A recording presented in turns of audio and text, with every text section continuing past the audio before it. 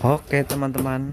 Kali ini kita akan cek sound Sebuah power Dari uh, merek Aslay ya teman-teman. Ini powernya tipis. Ini kita sedang unboxing Merek Aslay teman-teman. 4 channel. Di dalam dus sudah ada Buku panduan, buku manual dan satu buah kartu garansi.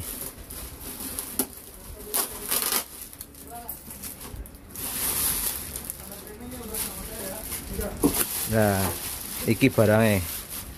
Ya.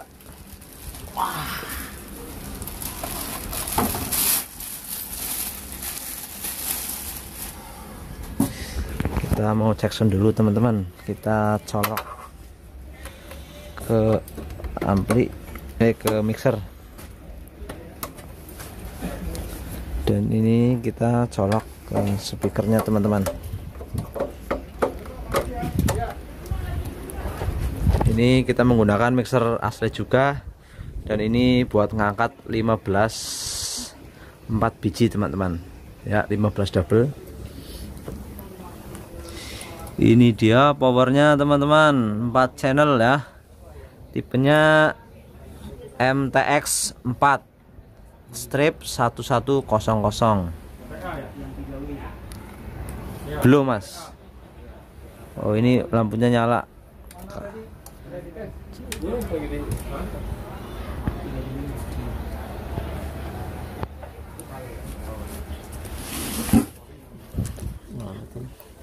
Tunggu dulu kali.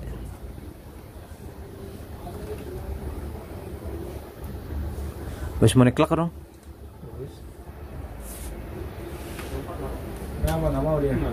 belum. Bener ora? Colokan ya ternyata channel nomor 3 klip bosku waduh ya. Beginilah resikonya saat ngambil barang dari agen atau distributor ya. Kalau nggak dites biasanya ada kendala kita nggak tahu. Channel teluk ya? Channel teluk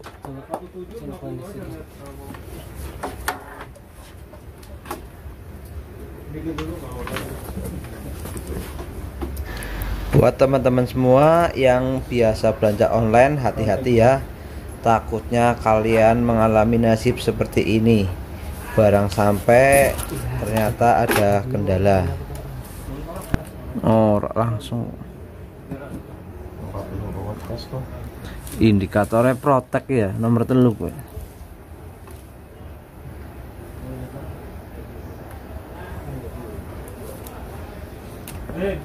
ya. Oi. Oh.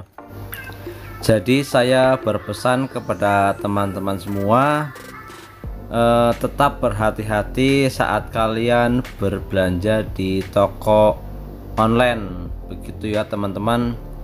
Karena di online itu banyak sekali oknum yang diibaratkan kurang bertanggung jawab.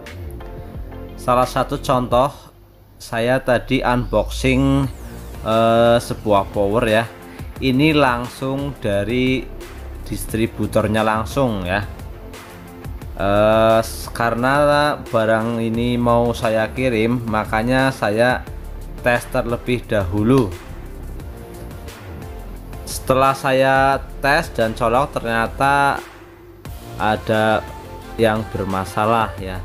Ini kan power 4 channel ada bermasalah di channel nomor 3 jadi buat teman-teman semua tetap hati-hati sama oknum-oknum penjual online ya. Misalkan begitu. Takutnya kalian pesen biasanya dari online tidak dites dulu ya teman-teman.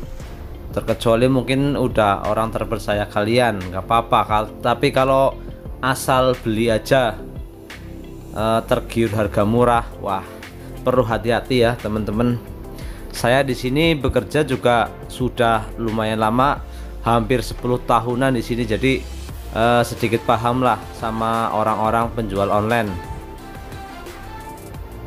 biasanya langsung dari agen atau distributor langsung dipacking dikirim ke kalian ya biasanya ada juga belum dites makanya tidak tahu rusak atau tidaknya. Maka dari itu kalau berbelanja e, sesuatu apalagi sound system ya elektronik.